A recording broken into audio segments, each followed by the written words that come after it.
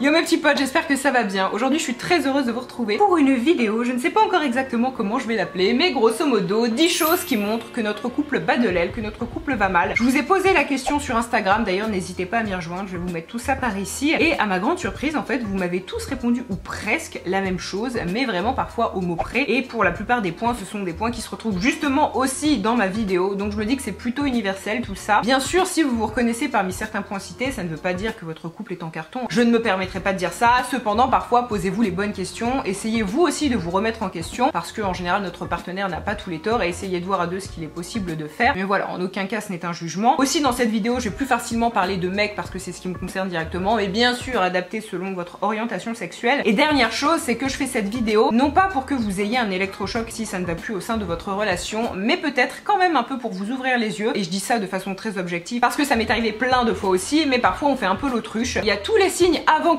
d'une rupture qui sont là, qui se présentent à nous, on fait genre on comprend pas, mais non ça va aller, non ça ne va pas aller, c'est du temps perdu en moins, et puis même sans forcément parler de rupture, si on veut une suite plus pérenne, eh bien il faut se poser les bonnes questions. Bref, si tout ceci vous intéresse, je vous laisse avec la suite. Le premier point que je vais vous citer, et vous allez comprendre à travers cette vidéo que les points que j'avance, ce sont soit des choses que j'ai vécues, soit des choses que j'ai faites, mais dans tous les cas, voilà, je me base sur un vécu, hein. bien évidemment, c'est pas des trucs que je vous sors comme ça de nulle part. Et puis pour la plupart, en général, comme je vous l'ai dit sur Insta, on s'est plutôt entendu et ce sont des points qui revenaient très souvent. Bref, le premier point, c'est quand tu fantasmes sur d'autres mecs, entre parenthèses, surtout quand t'es déjà moins attiré vers ton partenaire. Et alors ça, c'est vrai que je trouve c'est très mauvais signe. Il peut nous arriver d'avoir une baisse de libido, bien évidemment, mais quand c'est vraiment sur une très longue période que c'est répété, c'est pas très très bon signe. Pareil, en fait, je trouve que c'est normal, même quand on est en couple, de trouver d'autres personnes attirantes, mignonnes, mignons. Ok, y a pas de problème. Cependant, quand t'en arrives au point où toi, ton mec ou ta copine ne t'attire plus du tout, du tout, mais alors que le voisin, oh là là, tu le vois, t'es toute mouillée, t'as grave envie euh, d'avoir une relation intime avec lui,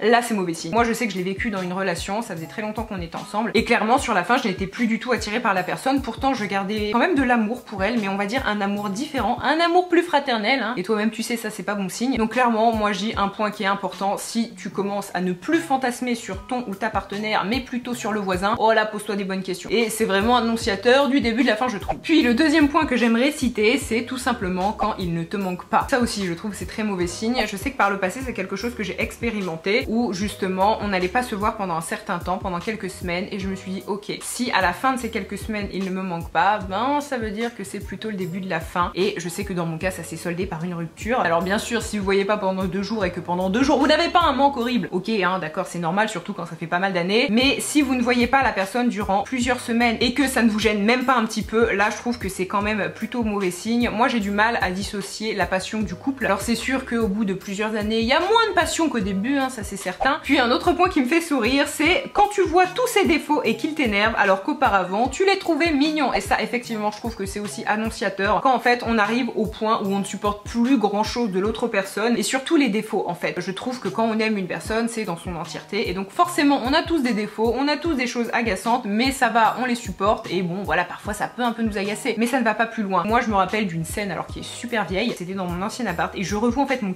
je revois mon mec de l'époque, avait un peu étalé euh, son ordinateur et tout son bordel. Et alors en fait oh, j'avais juste envie de les triper. Alors que pour ceux qui me connaissent ça va je suis un peu bordélique, s'il y a un peu de bordel ça ne me dérange pas, mais là en fait c'est juste la présence du mec que je ne supportais plus. Pourtant je l'avais aimé très fort mais alors là ce n'était plus le cas. Et en fait voir un peu ces affaires en bordel comme ça auparavant vraiment je m'en serais fichu. Mais alors là c'était plus possible et j'avais vraiment mais oh, je, ça m'énervait, voilà, je ne supportais plus ça. Puis un autre point, c'est quand on ne couche plus ensemble, tout simplement. Cependant, ce que je tiens à préciser, c'est que ce n'est pas une condition sine qua non à la rupture, puisque on peut continuer de coucher ensemble et que rien n'aille à côté. En revanche, je trouve que l'inverse est beaucoup moins vrai. C'est-à-dire que euh, quand on commence vraiment à ne plus du tout coucher ensemble, pour moi c'est très mauvais signe. Alors effectivement, parfois il y a des périodes où on a moins envie, baisse de libido, blablabla, la canicule, où effectivement quand il fait 45, vous avez peut-être pas envie de week-end comme ça dans tout l'appartement, oui peut-être, ok. Parfois, comme je vous l'ai dit, on continue d'avoir une activité sexuelle plutôt fournie. À côté de ça, le couple ne va plus du tout, mais on va dire que c'est la seule partie qui fait que ça tient encore. Donc c'est pas forcément non plus très bon signe. Hein. Et c'est d'ailleurs, je crois, le point qui est le plus revenu dans les commentaires d'hier quand je vous ai posé la question. Je crois que je n'ai jamais autant eu de réponses. Ce point-ci, il est revenu euh, presque chez chaque personne. En gros, vous me disiez que oui, quand vous ne couchez plus avec votre partenaire, c'était vraiment le début de la fin selon vous. Puis un autre point, c'est quand la relation t'apporte plus de peine que de joie et que tu te raccroches juste à quelques moments joyeux. Et là, je vous dirais que le conseil que j'ai à vous donner, c'est qu'il qu'il faut regarder les choses dans leur globalité, c'est-à-dire est-ce que tu es souvent en colère, est-ce que tu es souvent triste dans cette relation? Et ça, je trouve que c'est un point qui est très difficile parce que très souvent, on se raccroche à la relation et on se raccroche à quelques moments qui ont effectivement été très joyeux. Et en général, je pense que vous allez être d'accord avec moi, si on se met en couple avec une personne, c'est qu'on est quand même un tant soit peu attiré vers elle, c'est qu'on l'apprécie quand même beaucoup et que, bah oui, forcément, on partage des, des, des, choses qui nous font plaisir et on passe de bons moments. Le piège, c'est de se raccrocher en fait à ces moments du début qui étaient cool et finalement, bah, avec le temps, vous vous rendez compte que vous n'êtes pas vraiment fait pour être ensemble et c'est là où c'est difficile et c'est là où il faut être objectif et souvent c'est très compliqué d'être objectif dans des moments comme ça parce qu'on se raccroche à ces quelques petits moments de bonheur et finalement on oublie tout le reste. Prenez par exemple votre couple sur un mois, deux mois, demandez-vous combien de fois vous avez pleuré à cause de la relation, combien de fois vous avez été en colère à cause de la relation, essayez de faire un tableau et regardez en fait si cette relation vous apporte plus de joie ou plus de tristesse, de colère, etc.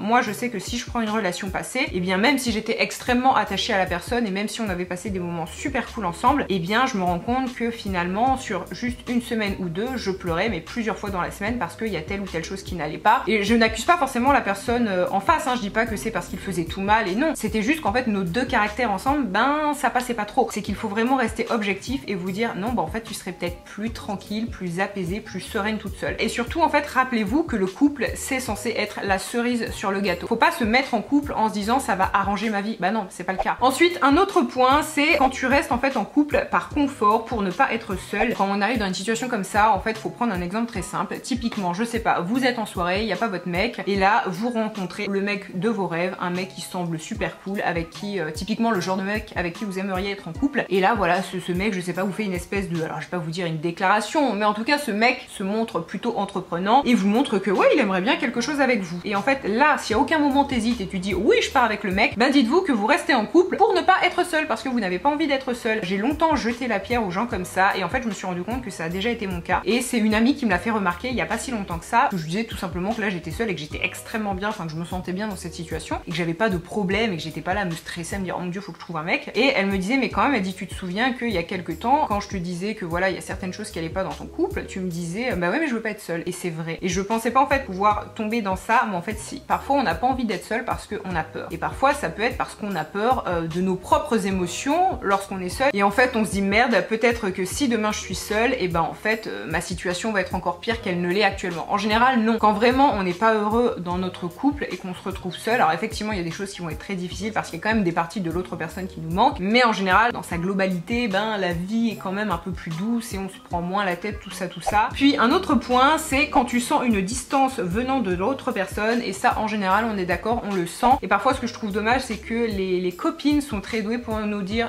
mais t'inquiète, je suis sûre que tout s'explique, en fait il est pas du tout distant. Si. Alors je sais que parfois on est amis et voilà, on veut juste rassurer l'autre personne, mais aussi parfois pour son bien-être, c'est mieux de l'ouvrir les yeux et c'est vrai que quand on sent une distance de l'autre personne, par exemple, elle nous écrit moins, elle est moins tendre, il y a des tensions dans la vie quotidienne un petit peu pour rien. Dans ce cas, il ne faut pas rester avec nos doutes et il faut en parler à son partenaire et je trouve que c'est plutôt primordial. Moi, je sais que ça m'est déjà arrivé d'avoir des tensions dans la vie quotidienne, mais vraiment pour des détails, des futilités. En fait, je me rendais compte, enfin, sur le moment, je me rendais pas compte, mais qu'en fait, on était en train de s'éloigner et que parfois, voilà, des petits détails qui, d'habitude, ne m'auraient fait ni chaud ni froid, là, m'agaçaient au plus haut point. Et à ce moment-là, j'étais vraiment en colère contre la personne, alors que vraiment, il n'y avait pas de raison. Donc, quand vous sentez comme ça une distance s'installer, je pense que la meilleure technique, c'est de mettre les pieds dans le plat et de poser la bonne question. Pourquoi t'es plus distant? Qu'est-ce qui se passe? Qu'est-ce qui ne va pas? Parfois, la personne est plus distante parce que nous-mêmes, sans que l'on s'en rende compte, eh bien, on est plus distant. Donc, tout ce que j'ai à vous dire là, c'est qu'il faut en parler, il faut communiquer, il faut poser les bonnes questions. Et pitié, alors ça, c'est un conseil que je m'adresse à moi-même. Ne faites pas comme moi, hein, parler. C'est-à-dire que moi, et je sais que c'est un problème que j'ai eu par le passé, où euh, voilà, je fais la gueule, ça ne va pas. On voit bien que je suis distante, mais quand on me demande, ben, j'arrive pas en fait à dire ce qui ne va pas tellement en fait, il y a un nœud et tellement je suis en colère ou je suis, je sais pas moi, vexée, triste, peu importe, mais tellement l'émotion négative elle est là, ça forme une espèce de nœud et je n'arrive pas à verbaliser ce qui ne va pas. Et je sais qu'un ancien copain me le reprochait, et alors pour ça il avait mes raisons mille fois, c'est-à-dire que lui au contraire parlait, il me disait bah oui mais euh, là je vois que tu fais la gueule, pourquoi Qu'est-ce qui va pas? Moi je n'arrivais pas à le dire. Alors là, vous partez dans une espèce de cercle infernal qui est nul à chier, hein, je vous le dis tout de suite. Mais voilà, ne faites pas comme moi. Si on vous demande ce qui ne va pas, ou si vous vous posez la question ce qui ne va pas avec la personne se défile, oh non, rien. Non, essayez de creuser parce qu'en général, il y a vraiment un truc qui ne va pas, on n'est pas folle, on le sent ces choses-là. Puis un autre point qui je trouve peut être pas mal mauvais signe, c'est quand on commence à réfléchir en jeu et plus en nous. Et surtout quand, bah, dès lors en fait qu'il y a un changement et que de base, voilà, vous pensiez beaucoup plus avec le nous. Je sais que ça m'est arrivé dans une relation passée. Pour moi, il y avait beaucoup de nous et en fait, au fur et à mesure du temps, j'étais plus vraiment sûre de ma relation et donc j'ai commencé à penser en fait de façon beaucoup plus égoïste ou du moins j'ai commencé à beaucoup plus à penser à moi et juste à moi sans trop me soucier de l'autre personne. Et ça, je trouve que c'est plutôt mauvais signe. Surtout en fait quand, euh, comme moi, de base, vous êtes assez dépendant dans la relation et que là, vous devenez complètement indépendant. Il y a des personnes qui sont très indépendantes de base, donc là, ce ne sont pas des choses qui sont censées nous surprendre, c'est normal. Mais c'est vrai que pour ma part, c'est un comportement que j'ai adopté où de base, il y avait énormément de nous et au fur et à mesure du temps, comme en fait, tout simplement, je n'étais plus sûre de ma relation, j'étais plus sûre de mes sentiments et pas forcément par rapport à l'autre personne, hein, c'était vraiment par rapport à moi en tant qu'individu. Je n'étais plus du tout sûre en fait ben, de vouloir être en couple avec cette personne parce que voilà, je pense que tout simplement on avait fait notre temps et ça se remarquait d'ailleurs, je crois, pas mal sur ma chaîne YouTube, donc c'était pas hier non plus, mais je disais en fait beaucoup de jeux et plus de nous. Et je sais qu'à l'époque, certaines m'avaient fait la réflexion en me disant mais c'est bizarre, pourquoi tu dis je, pourquoi tu parles plus de ton couple, tout ça, tout ça? Et eh bien tout simplement parce que moi-même je me posais des questions et donc j'avais peut-être envie d'un peu moins exposer mon couple. Et d'ailleurs, nous en venons à un autre point, alors que j'aurais pu placer au début parce que je le trouve très intéressant, mais c'est quand tout simplement on assume plus pleinement la relation, que ce soit sur les réseaux sociaux ou que ce soit dans la vie réelle si je puis dire, surtout quand de base c'était le cas. C'est-à-dire que moi ça m'est déjà arrivé, je suis pas le genre de fille à avoir euh, un problème à assumer ma relation sur les réseaux sociaux, à parler de la personne, pas du tout, loin de là. Mais je sais que par le passé, ça m'est déjà arrivé d'assumer pleinement la relation et puis au fur et à mesure du temps, comme justement j'étais plus sûre de mon couple et que je pensais que c'était le début de la fin et que voilà, il y avait plus autant de sentiments qu'avant. Ce qui arrive en soi, c'est pas une fin en soi, enfin je veux dire si, c'est la fin du couple. Mais voilà, il y a, rien de mortel et je pense qu'à un moment c'est normal que les sentiments diminuent un petit peu, ça veut pas forcément dire que la personne est mauvaise, non, ça veut juste dire que l'on évolue, que l'on change et que bah, d'autres personnes peuvent mieux nous correspondre. Bref, tout ça pour dire, je sais que voilà, j'affichais pas mal ma relation à un moment et puis avec le temps en fait je me suis rendu compte que je l'affichais de moins en moins tout simplement parce que je n'étais plus sûre et c'est vrai que si c'est quelque chose que vous remarquez dans votre relation, c'est-à-dire que de base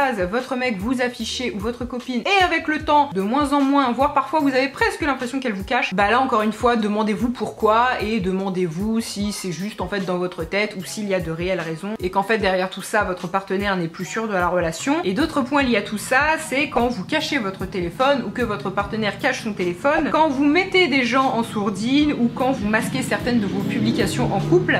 Et là je ne suis pas fière, mais c'est vrai que c'est quelque chose que j'ai déjà fait par le passé. Lorsque je postais en fait des photos de moi et mon mec, et eh bien ce sont des publications que je cachais à certaines personnes. C'est quelque chose que l'on peut faire sur Facebook si jamais vous ne savez pas. Tout simplement, alors c'est pas que j'aimais pas la personne ou que en fait j'avais envie de me laisser des portes de sortie, non, mais c'est que simplement j'étais pas sûre en fait que la personne en face estime la relation comme moi je l'estime et du coup euh, oui quelque part euh, oui oui en fait si si quelque part c'est que je voulais me laisser en fait une sortie si jamais bah, justement cette personne se moquait de moi et qu'elle m'estimait pas autant que je l'estime et c'est vrai que c'est pas très bien surtout que quand j'y pense c'est quelque chose que je pouvais moi-même reprocher à mon copain à ce moment là mais encore une fois la communication c'est pour ça que dans des cas comme celui-ci je trouve qu'il est très important de verbaliser en fait l'attachement que l'on a à une personne parce que parfois en fait elle a du mal à s'en rendre compte et ce qui fait que elle pensant qu'en fait vous vous moquez un peu d'elle et que vous en avez rien à foutre eh ben elle va adopter certains comportements qui en fait vont à l'encontre de ses propres sentiments. Je sais pas si vous voyez ce que je veux dire. Moi je sais que ça c'est quelque chose qu'encore une fois j'ai fait il y a très longtemps. Mais en fait j'étais en couple avec une personne sur Facebook. Donc c'était vraiment à l'époque où genre on mettait ça sur Facebook. Donc